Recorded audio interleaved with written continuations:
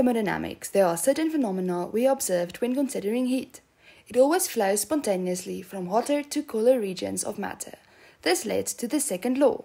For any reversible process, the entropy of the universe remains unchanged, while for the irreversible process, the entropy of the universe increases. First, we need to talk about entropy. Entropy is a way to describe disorder or chaos and directionality within a system. Let me explain. As we add heat to a system, something predictable happens. The system expands or a substance changes from liquid to gas, and always in that order. Thus, we use entropy to describe the directionality of a process. Entropy is a way to describe or measure the flow of energy. By observing molecules, we learned that when we add energy to them, they move more and more unpredictable. They scatter and move randomly.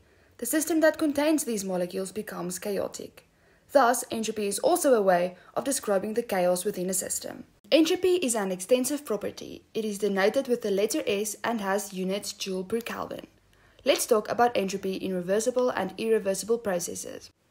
A reversible process is a process in which the system can be returned to its original state without any net effect on the surroundings. In these processes, the entropy stays constant, since the system is returned to its initial state. Irreversible processes are real life processes with friction. The work obtained is always less. In these processes, the entropy increases. Thus, we get our first formula. Entropy of the universe is always increasing, or at best, stays constant. Energy transfer via heat is driven by temperature, which can be related to random motion of molecules and therefore to disorder or entropy. Entropy is defined in terms of heat absorbed during a reversible process, as change in heat over temperature. Let's look at a few formulas you can use when answering second law questions. For closed systems, change in entropy of the system plus change in entropy of the surroundings is greater than and equal to zero. If your surroundings are at constant temperature, you can use this formula to calculate the entropy of the surroundings. Let's look at formulas for specific scenarios. For a reversible isothermal expansion of an ideal gas, you can use this formula to calculate the entropy of the system.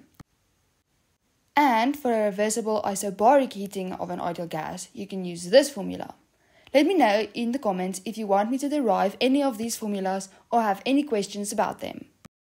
From these two formulas, we get a general formula that we can use. We can simplify this equation based on conditions.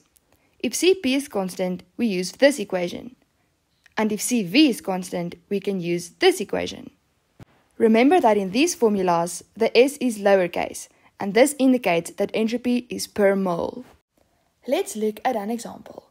A piston cylinder device initially contained 0.5 meters cubed of an ideal gas at 150 kPa and 20 degrees Celsius. The gas is subjected to a constant external pressure of 400 kPa and compressed in an isothermal process. Assume the surroundings are at 20 degrees Celsius.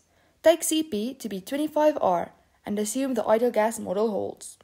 Question 1. Determine the heat transfer in kilojoules during the process. Question 2.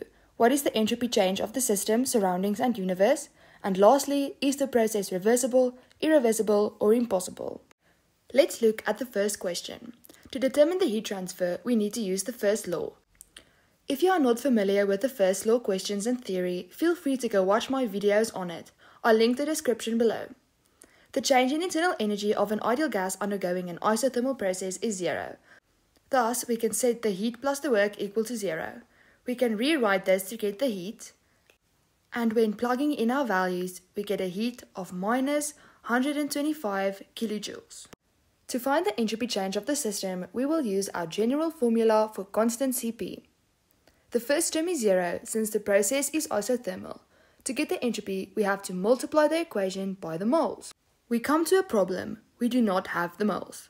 But since this is an ideal gas, we can use PV equals nRT. We plug this into the equation and get a new equation. We cancel out the gas constant and plug in the values. The entropy change of the system is minus 0.25 kilojoules per Kelvin. For entropy change of the surroundings, we can just use the heat and temperature formula at constant temperature. We plug in our values and get an entropy of 0.43 kilojoules per Kelvin.